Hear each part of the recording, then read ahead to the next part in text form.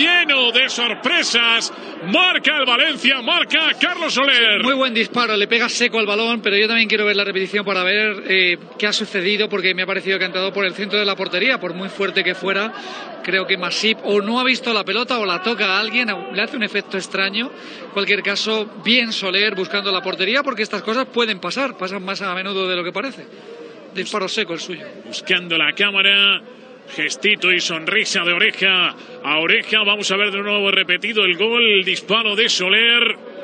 Y yo creo que no toca a nadie. Es que sale directamente con veneno incluido ese balón que entra como un auténtico misil por el centro de la portería. David, en una noche gélida, de repente un punto de ebullición. Sí, otra vez decisivo el centrocampista del Valencia, que se pone ya como máximo goleador del equipo.